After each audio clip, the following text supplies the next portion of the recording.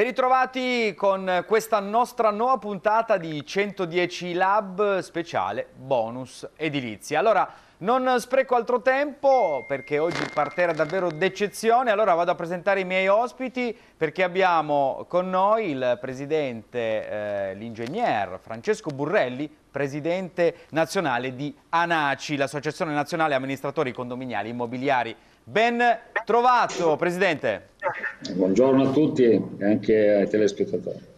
Grazie per aver accettato il nostro invito, così come eh, ringraziamo anche il costruttore Massimo Cairoli, eh, grazie per essere intervenuto. Ciao Roberto, grazie a voi, buonasera. Allora, partiamo magari con eh, l'ingegner Burrelli, perché con lui vorrei fare un po' il punto della situazione, no? perché i bonus hanno cambiato anche un po' il modo eh, di doversi impegnare a livello di eh, condominio, soprattutto il gran lavoro che gli amministratori di condominio devono fare per capire le regole, le normative, adesso che insomma, le norme sono tutte chiare e definite, insomma, abbiamo un uh, obiettivo e una prospettiva, però insomma poi la giacchetta viene tirata all'amministratore di condominio in qualche maniera. Allora chiedo all'ingegner Burrelli eh, come, come, sta andando ecco, con i bonus e i condomini e gli amministratori. Ecco, voi di Anaci immagino che abbiate un po' eh, la cartina di tornasole di tutta questa situazione. Ah, diciamo che qualcosa in più rispetto a quando abbiamo iniziato lo sappiamo, eh, che poi ancora sia tutto definito e tutto chiaro quello che c'è da fare è una parola diciamo, importante da valutare e valutarlo molto bene.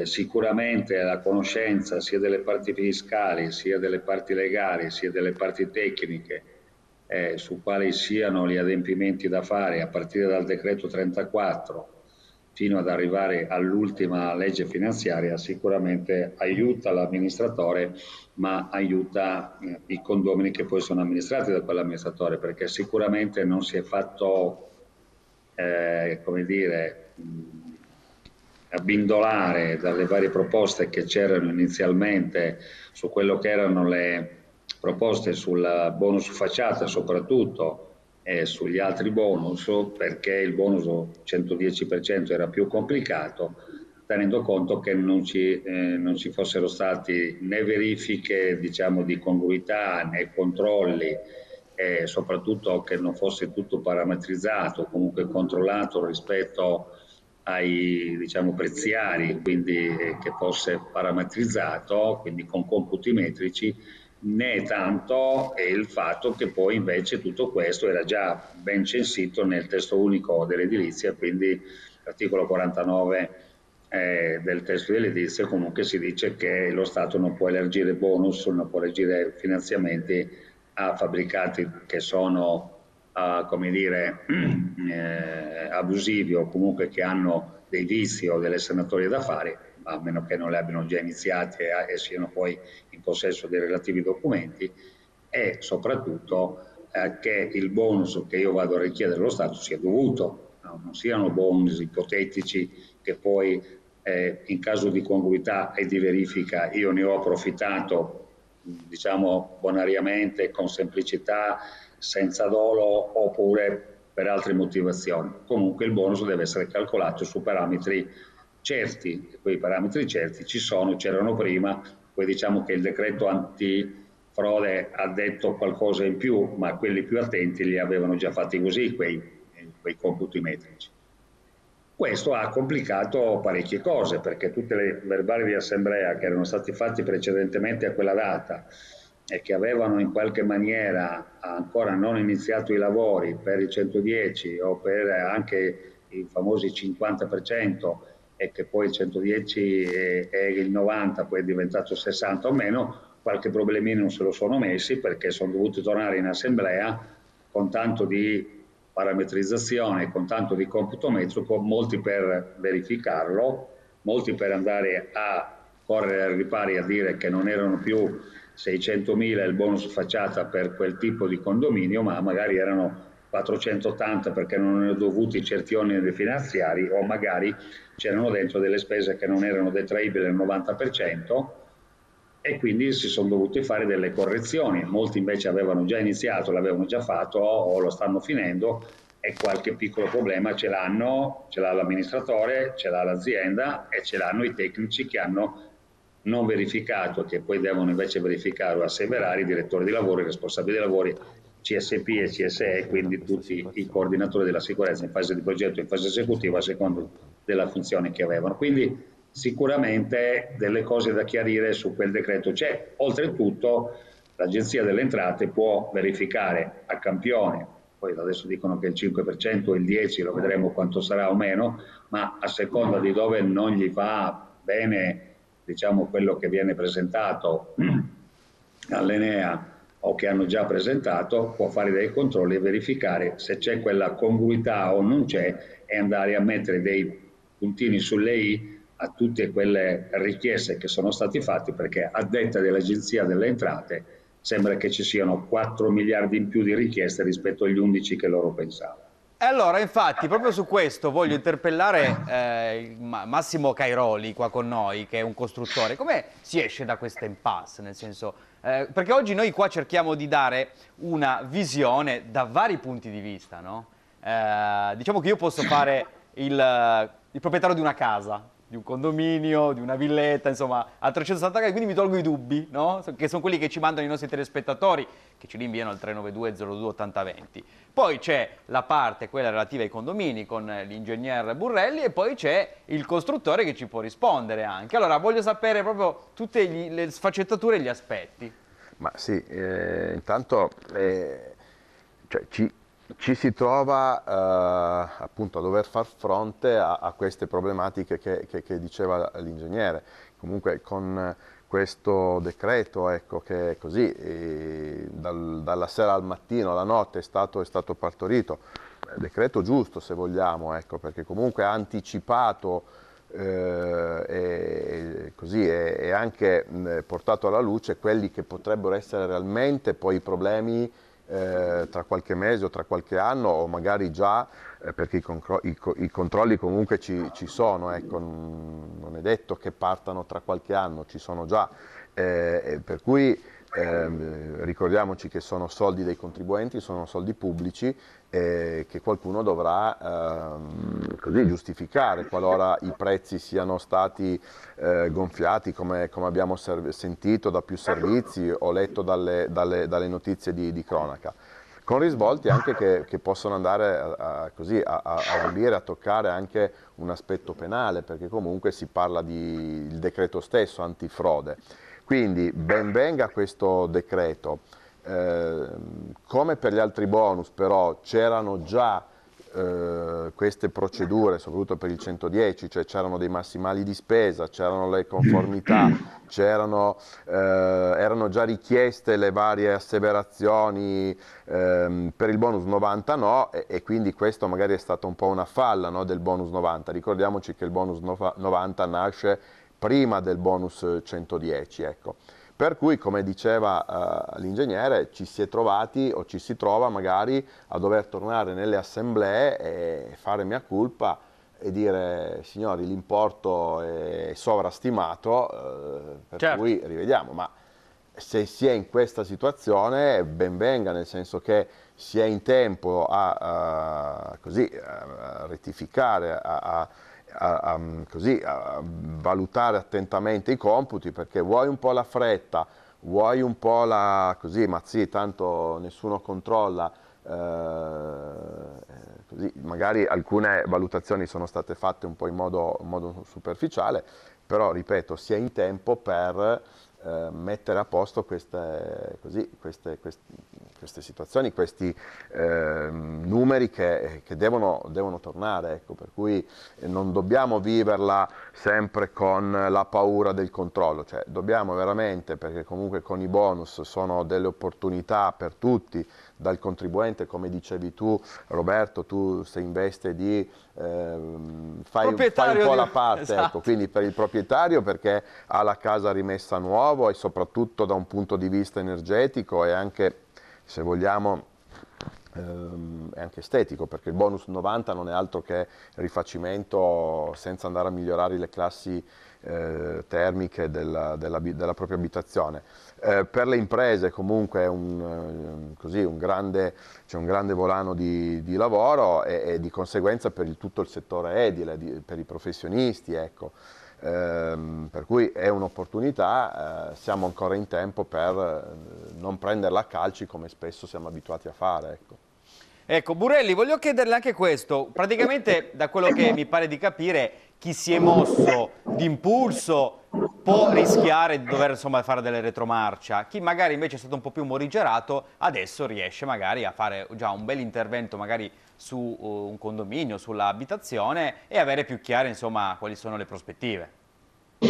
Ma diciamo che quello che ha detto Caroli a me piace per due motivi. Eh, eh, alcune delle cose che non si sono valutate quando è partito il bonus, eh, il bonus, tutti i bonus, 36 che era strutturale, gli altri bonus che poi sono venuti dopo, e, eh, sono oh, le, le, maggiori richieste che poi ci sono state di conteggio, di materiali, di professionalità. Teniamo conto che l'edilizia fino a quella data lì aveva perso oltre 270.000 eh, professionalità e quindi pochi sanno, o perlomeno pochi sanno quelli che non sono del mestiere, che tutte le imprese che devono lavorare all'interno di un comparto edilizio, soprattutto nei luoghi di lavoro e nei cantieri per il titolo quarto, devono essere imprese edili, devono essere iscritti alla, alla, alla, alla, sezione provinciale della Cassa Edile e quindi devono avere un corso di formazione, devono essere formati e le imprese devono avere certe caratteristiche che molte delle imprese finanziarie che ci sono in giro, eh, alcune di queste non ci sono, quindi è vero che si possono aggiustare o tarare meglio le cose con le imprese serie, con professionalità, perché vogliono ancora tenere il nome, perché vogliono ancora tenere il punto di riferimento nella nostra città. Io sono di Torino, se vengo dalla Sardegna, ma sono di Torino da una vita, ho figli nati a Torino e quindi Torino è una grande città, una città seria e quindi ci sono tante aziende serie che lavorano a discapito di molte aziende che invece forse hanno fatto un, un carico all'arrembaggio o comunque hanno fatto una corsa al business o comunque all'assalto alla diligenza. Quindi mh, sicuramente questo passaggio che bisogna fare, bisogna farlo tenendo conto tre cose. Abbiamo ancora le professionalità per gestire tutto quello che sta succedendo adesso per il 22 e 23. Abbiamo tutti i materiali e li stiamo verificando, come dice la legge, come dice il MISE, tutti quelli che sono le caratteristiche dei materiali che stiamo installando. Abbiamo tutti eh, i ponteggi a norma che non li facciamo venire dall'esterno, che non sono omologati e quindi c'è di nuovo bisogno di avere un margine maggiore perché tutti quanti stanno facendo i furbi e poi l'ASI li blocca. Abbiamo tutti i requisiti tecnici professionali per entrare nel luogo di lavoro, nel cantiere, perché così non creiamo problemi né alle persone né soprattutto ai condomini poi in futuro e soprattutto tuteliamo la sicurezza e la vita di quelli che ci lavorano all'interno, perché sappiamo benissimo più professionalità, più competenza, più conoscenza vuol dire meno rischi per il lavoro che si certo. fa. Quindi la somma delle cose che dobbiamo tenere è questa. Allora proviamo, proveremo a dare alcune di queste risposte, se ci riusciamo. Dopo una breve pausa, torniamo tra poco.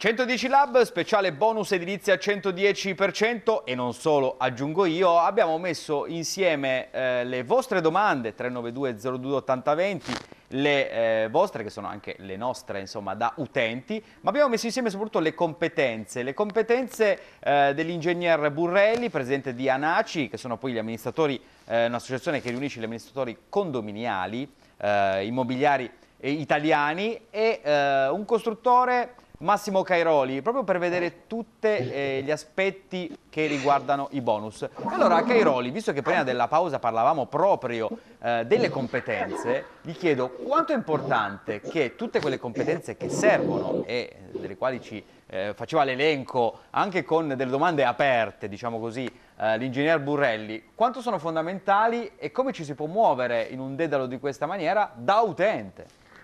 Allora, intanto eh, precisiamo che eh, la responsabilità poi eh, maggiore ricade proprio sul, sull'utente, ecco, nel certo. caso di contenziosi o di, o di così, eh, situazioni non... Eh, alla base però eh, giustamente della, della piramide eh, c'è un percorso eh, che coinvolge più figure e ognuno deve, deve rispondere. Ecco.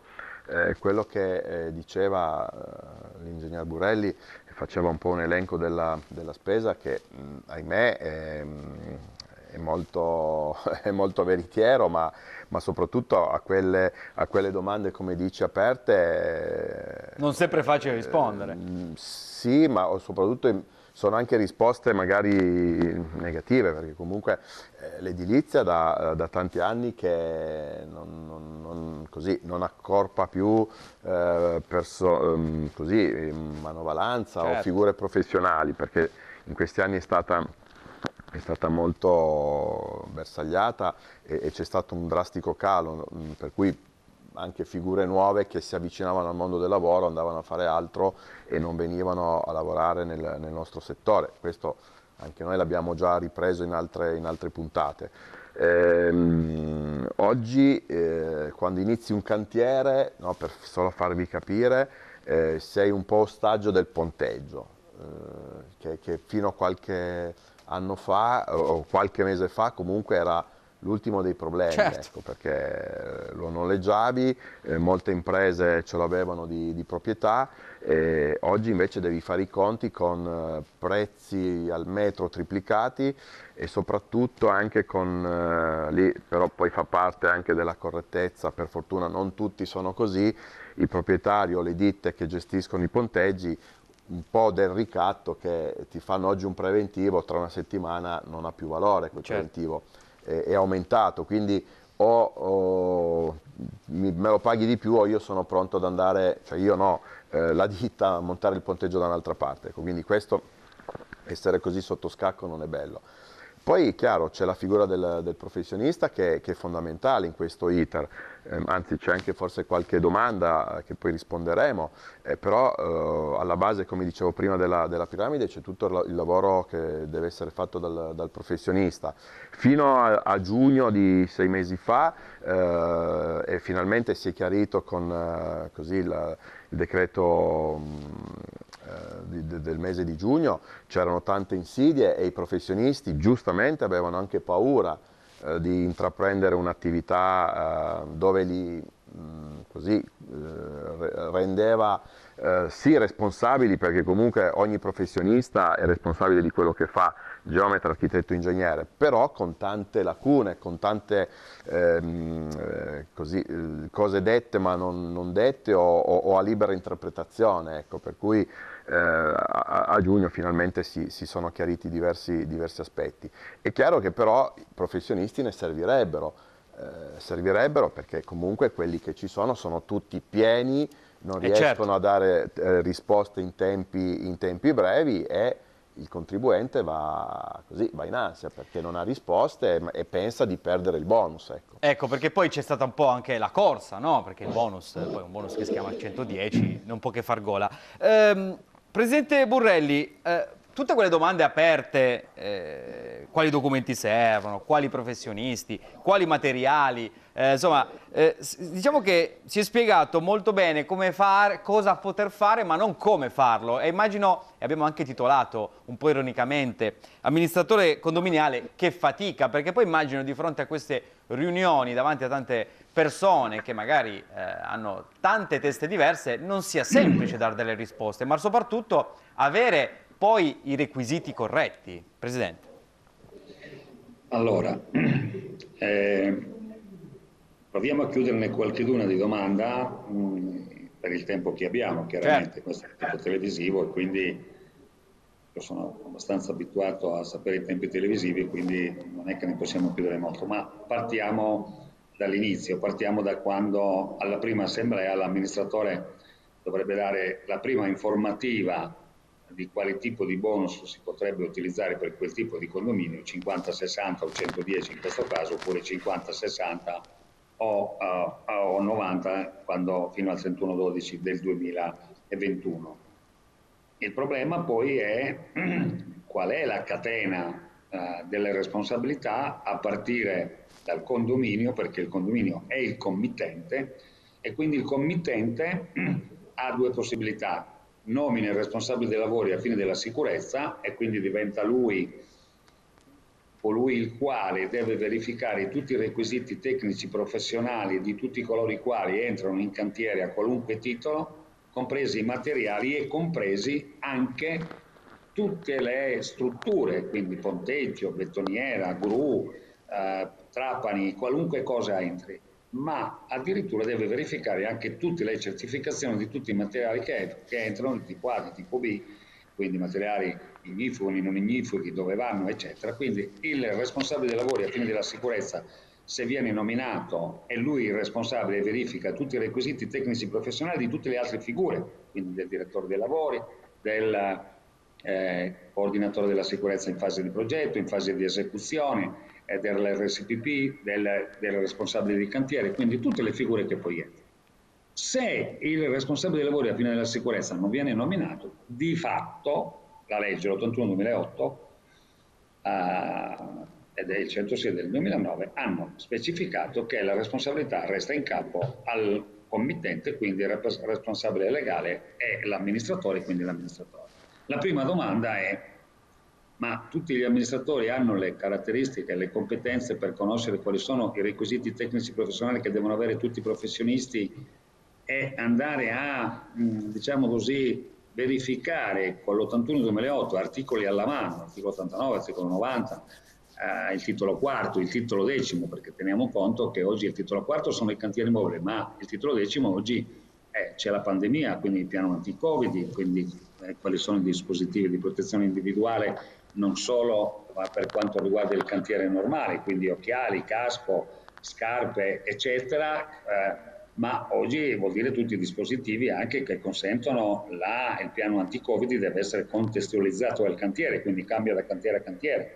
In un paese c'è la, la zona gialla, in un altro paese c'è la zona rossa o la zona arancione, il piano anti-Covid è diverso, cambia, cambiano le conseguenze, eh certo. cambiano i distanziamenti, quindi cambiano. Quindi dico, quanti degli amministratori eh, sono in grado di fare i responsabili dei lavori a fine della sicurezza perché magari non conoscono la normativa e si trovano di fatto a essere responsabili dei lavori a fine della sicurezza perché non l'hanno nominato. Eh certo. E quindi quel committente che diceva prima giustamente Cairoli si trova a essere responsabile ma si trascina anche dietro i condomini perché se quell'amministratore non ha poi quella garanzia, non ha quella sicurezza, non ha quella assicurazione che prescrive la legge, oltretutto deve verificare che tutti i professionisti che stanno lavorando devono avere un'assicurazione minimo di 500 mila euro e poi proporzionate al numero di cantieri in cui sono responsabili e quindi devono andare a verificarlo, anche perché quell'assicurazione gli consente poi che se ci sono dei materiali, se ci sono poi delle